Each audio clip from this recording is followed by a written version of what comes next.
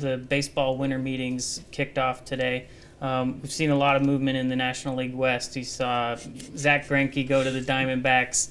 Uh, the Dodgers picked up Hisashi Iwakuma, uh, supposedly also uh, Aroldis Chapman, but that is still kind of up in the air. Medical situation. And the Giants got uh, Jeff Samardzija. So where are the Rockies in all this?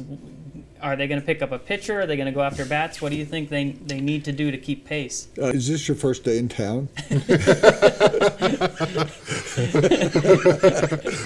where all, where are the Rockies always at the winter meetings?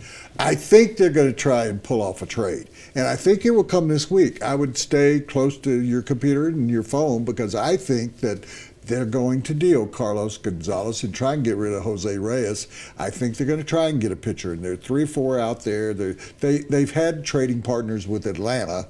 They've also uh, in the past, and they've made a deal in the offseason. I think that Shelby Miller is a guy that they could try and move Carlos Gonzalez to Atlanta because Atlanta's going into a new stadium. He could be a starlight for them in the outfield, but they would have to move Reyes too, and they probably would have to agree to pay pick up a lot of money that those two have attached to them.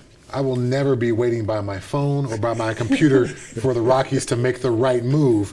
Um, but I think to pick up the pitching, whether it's trading Gonzalez, whoever you have to get rid of, this team needs pitching. So that's what I would love for them to do. So absolutely. I know you have to stay by your computer, so you will. He doesn't have to. And I lost my cell phone, so I can't stay near it. Thanks, Dad.